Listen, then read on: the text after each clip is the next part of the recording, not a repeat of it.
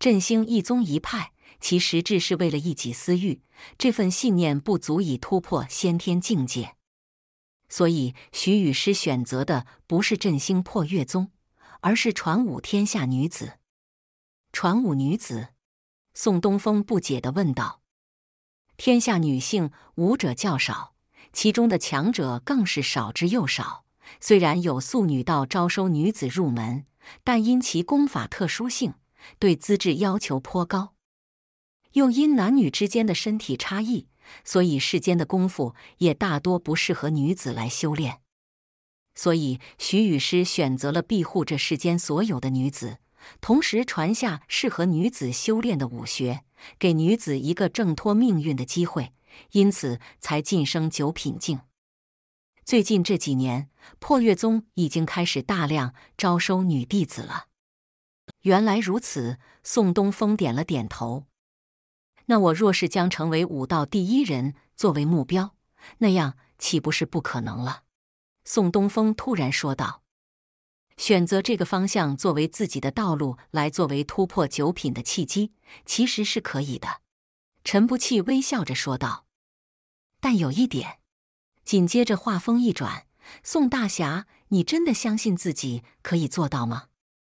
要知道，九品之上还有传说中的十品。”十一品，你觉得你在九品的时候就能做到天下第一吗？况且最重要的一点，这一路走来，你就没遇到过天赋资质都要远超过你的人吗？你内心深处真的相信自己会成为那武道第一吗？你所选择的道也只是这么狭隘吗？宋东风被陈不弃的话问住了。虽然作为武者，拥有一颗不断进取、不断向上攀登的心是必不可少的，但如今的宋东风早就不是当年那个初出茅庐的愣头青了。他知道这个天有多高，地有多厚，自己的天资算不上顶尖，走到今天，无非是凭借着一股韧劲和不服输的精神在支撑着他。所以，宋东风其实，在潜意识中也没有真正的认为自己可以成为天下第一，不过是一直朝着这个方向努力罢了。哈哈，扯得有些远了。陈不弃哈哈一笑，贫道说这些，无非是想和宋大侠说一下小公爷品级跌落这一奇怪之事。小公爷没准是因为受伤而实力暂时减退呢。难道道长看出来了什么不妥之处了吗？宋东风倒是对于陈不弃的疑惑毫不在意，因为他现在全部的心思都放在了为自己选择适合自己的道路上。陈不弃见宋东风的心思不在小公爷身上，便也没有在意。其实他这次和宋东风交谈的重点也不是在小公爷身上，而是为了将突破九品的关键告诉宋东风。毕竟，宋东风若是能在京城内成为先天境，那么对他接下来的计划有巨大的帮助。可能是贫道想多了吧？陈不弃轻轻摇了摇头，然后便起身告辞，留下宋东风一人坐在廊桥之下。杨琦这次选择擅自离开众人的视线，算是兵行险着。不过好在最后有个合理的解释，这才能重新回到安乐公府。至于被他嫁祸的朱乙，杨琦则是半点没有放在心上。既然对方秘密绑架了那么多普通百姓，想必没安什么好心，给他添一些麻烦也是正常。但风险意味着回报，杨琦这次成功将第三身相变成了窃命人中的一员。如此便给自己多留了一条退路。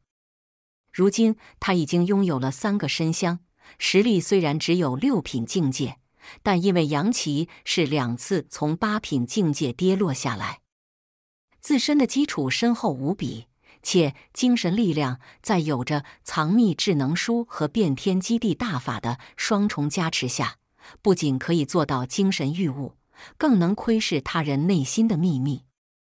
所以，杨琦现在虽然只有六品境界，但实际战力可以和八品武者抗衡。接下来，杨琦便不打算再做一些出格的事情来，先静观其变一段时间再说。毕竟现在整个京城的形势不是很明朗，有太多人都在暗中搞事，所以还是不露头的好。但有时候越是不想惹麻烦，可麻烦偏偏找了上来。待到所有人都离开后，杨琪深深的出了一口气：“呼，还是不适应这样的场合呀。”刚刚一大堆人都围在身边，每个人都用一种热切的眼神盯着自己，这让杨琪觉得有些不自在。尤其是在面对安乐公和宁玉书的时候，杨琪便想立刻逃离。经过一段时间的相处，杨琪能感受到朱景燕对自己的那种浓浓的父爱，这让杨琪心中莫名的生出一种愧疚的感觉。毕竟他不是真正的小公爷，所以平日里杨琪都是避免和朱景燕、宁玉书单独在一起。虽然知道自己暴露的可能性很小，但他还是觉得有些不舒服。究竟要伪装小公爷这个身份多久？其实杨琪自己心里也不知道。如今只能是走一步看一步了，先硬着头皮将当下这个情景应付过去。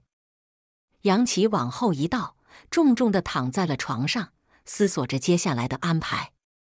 就在这时，一丝诡异的波动出现在他的感知当中。不对劲！杨琪将眼睛闭上，假装是在睡觉，但实际上精神力却高度集中起来。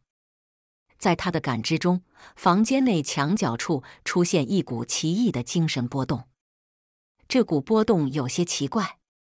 普通的人类精神波动略显平稳，而妖族的则是蕴含着一种躁动之意，充满了野性。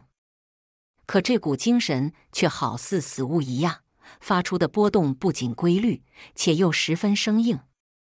对于未知的事物，杨琪都是心生警惕，于是便在床上一个翻身，将被子蒙在自己的头上，同时施展七相身，变成第一身香。这番动作没有惊扰到那股奇异的精神。接着，杨琪将心神延展出去，寻找机会包裹住对方。此时，若是杨琪睁开眼睛，就会看到在房间的一角，凭空出现一缕白色的烟雾。烟雾凝而不散，一点点朝着杨琪飘过去。